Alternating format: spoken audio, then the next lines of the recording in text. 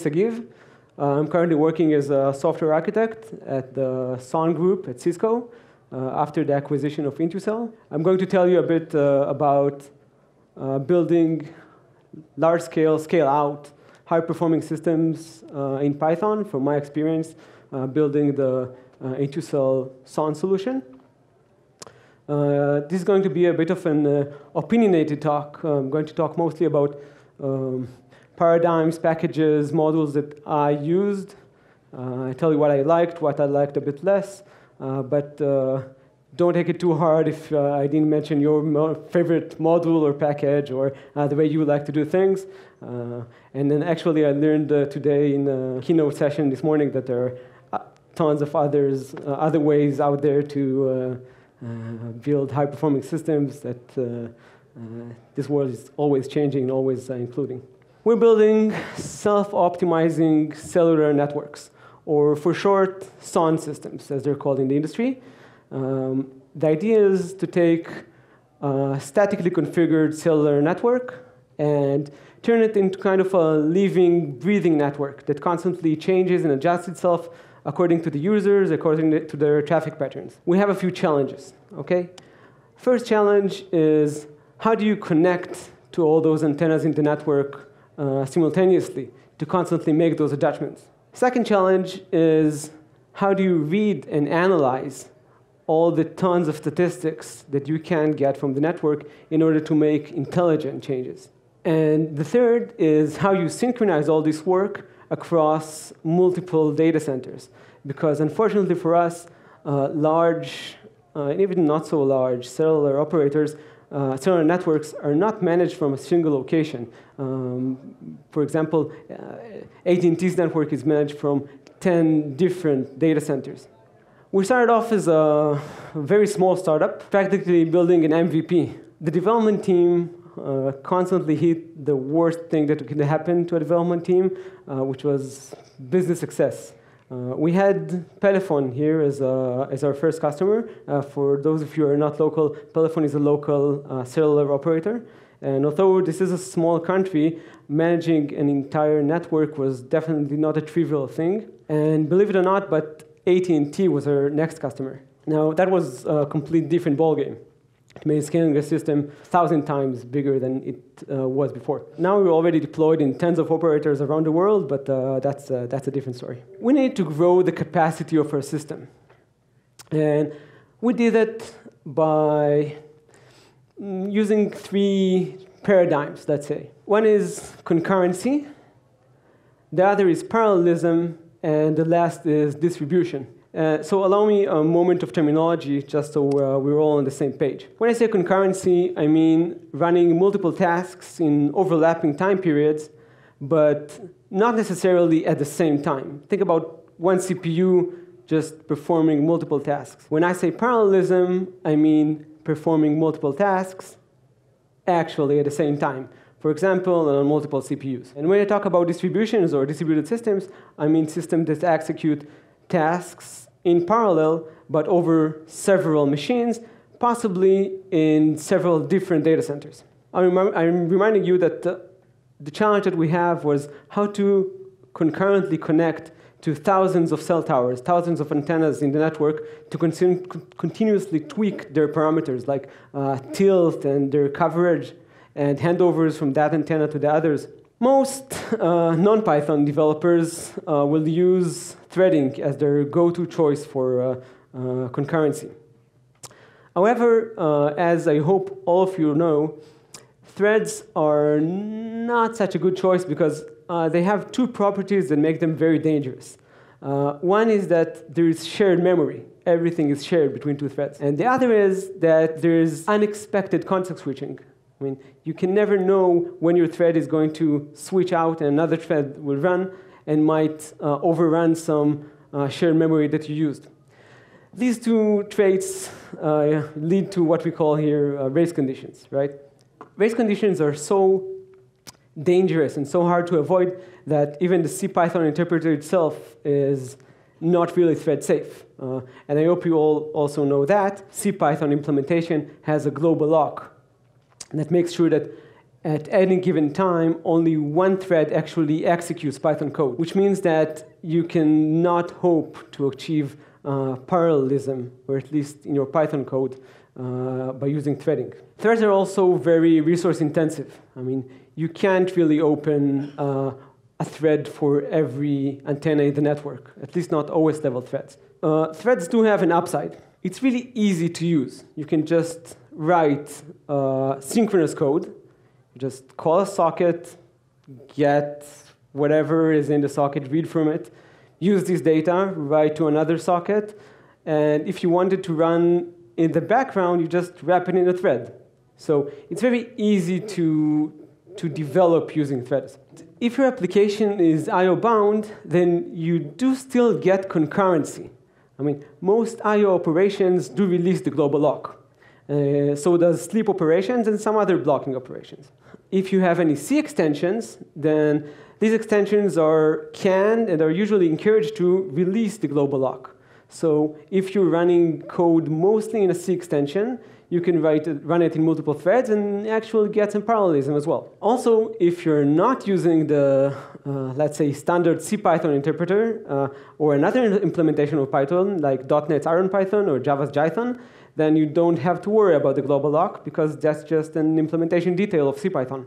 If your application is I/O bound, then there is another choice. Uh, a lot of different names for this paradigm. Some call it coroutines, some call it fibers, cooperative multi-threading. Uh, there are many, many different names, uh, but uh, the concept is generally the same. You have thread-like entities, only context switch in very predictable times, namely during I/O or during blocking operations. This makes coroutines or similar implementations much safer because you know exactly when uh, context, you, when you're about to lose the context. So race conditions are still possible, but are much, much easier to avoid and mitigate. Now, these implementations are usually also very, very lightweight. Um, in most implementations, uh, you can open as many uh, coroutines or uh, uh light greenlets as you want. Uh, for example, one for every antenna in the network. Uh, so it's also easier to develop like that. You don't have to worry about creating pools. There are many libraries out there that help you implement this paradigm. Uh, there's Twisted, Tornado, gevent. Uh, if you're using Python 3, uh, like you, there is uh, asyncio in the standard library. Let, us look. Let's take a, a, deeper look at this. Um, the basic idea is actually pretty simple. Um, a coroutine can be implemented, for example, by a Python generator, like these two. These generators uh, simply yield control when they want to do a blocking operation, like read from a socket or sleep.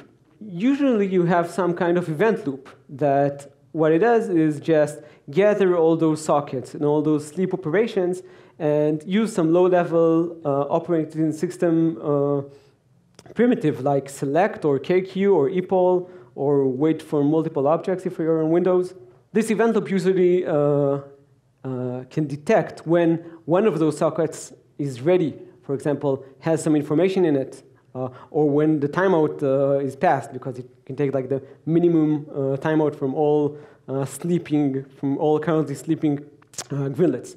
And to return control to the correct greenlet, you only have to just call its next method because just a generator. This is a very uh, simple and naive implementation of, of this paradigm. And again, if you're lucky enough to be using Python 3.5 onward, then there are actually two new keywords uh, built into the, to the syntax of uh, the language. Actually, there are more than two, but uh, let's focus on these two for now. Async def and the other is await. Now, there's nothing too magical about them. Async def basically means that this function is going to be a generator of type coroutine, and await is just like yield, or actually yield from, uh, if you're familiar with that syntax. Async IO uh, in the standard library also uh, includes an event loop here that uh, knows how to correctly and efficiently handle these kinds of coroutines. The problem with this method, uh, although it's really nice, is that you have to be very explicit about where you have blocking operations. Wherever you have a blocking operation, like reading from a socket or sleeping, you have to yield or await, and, and that's okay because explicit is better than implicit. But what happens if, uh, if you have existing code that is not written like this? It's written like normal code. You read from a socket, get information, write to another socket. Uh, what if you're using uh, some kind of third-party library, like I don't know, requests or any other network framework or library or whatever. gevent is a very, very good trade-off. Uh, gevent is a library implementing uh, this, this uh, exact paradigm, um, and it has a really nice little feature that allows you with two short, simple lines of code to magically replace all your threads into greenlets, which are a type of coroutine, and all the blocking operations, uh, like socket operations, sleep, uh, file operations, uh, they're all just magically replaced with uh, context switches.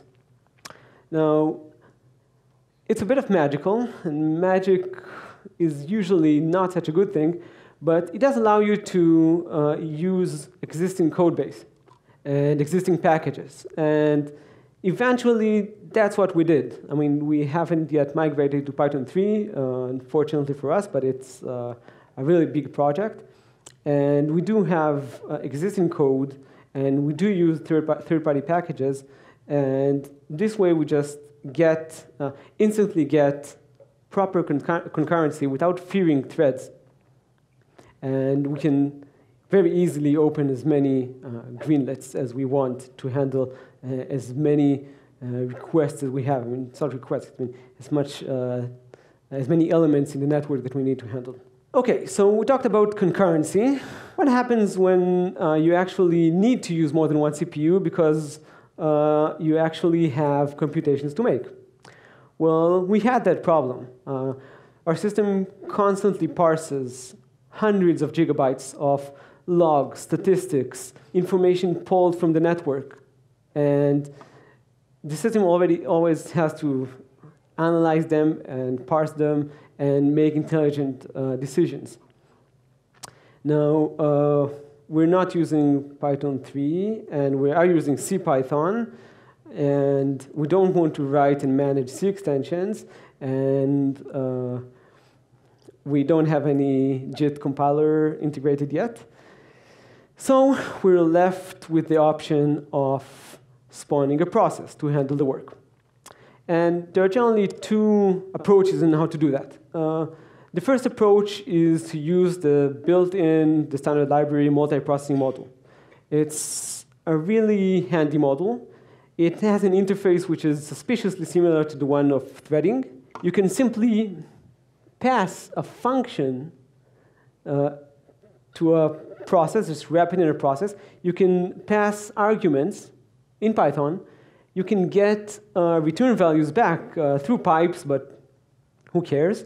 So it's almost seamless to just take a function and run it on another core. Sometimes magic kind of wears off. Okay, so sometimes magic is not always such a good thing, and when we try to use it, um, things got a bit weird. And we had like very weird issues, so we had to deep in, uh, uh, dive into the implementation of, of uh, multiprocessing.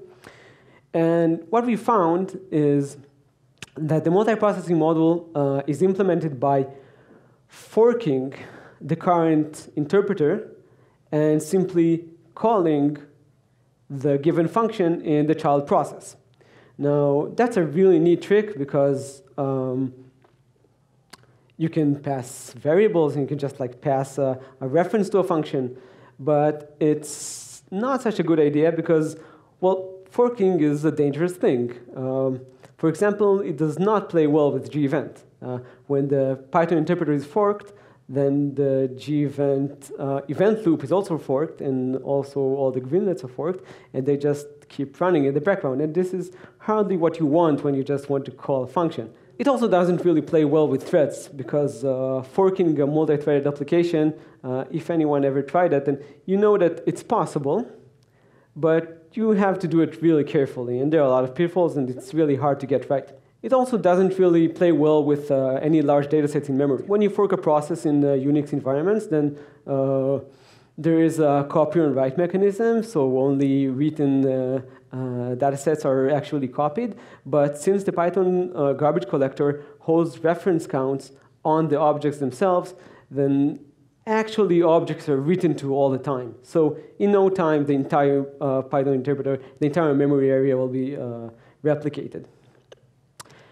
Good news is, uh, and I noticed this uh, just this week, uh, this is fixed actually in Python 3.4. And when you're using the multiprocessing module, you can uh, uh, opt out of forking. You have to be very explicit about it. And you can ask uh, the module to spawn a separate um, interpreter for you. We're not using Python uh, 3, so we had to go uh, and lose the multiprocessing module uh, in favor for the other approach, which is simply spawning ourselves uh, a sub-process uh, and a Python interpreter in a sub-process. Using the sub-process module and a nifty little uh, package called RPyC, which, is which allows very easy Python to Python RPC. Uh, so it's really easy to just build uh, a very, very nice interface uh, like this. just You can just run in process a function. Uh, all the arguments are uh, passed by RPyC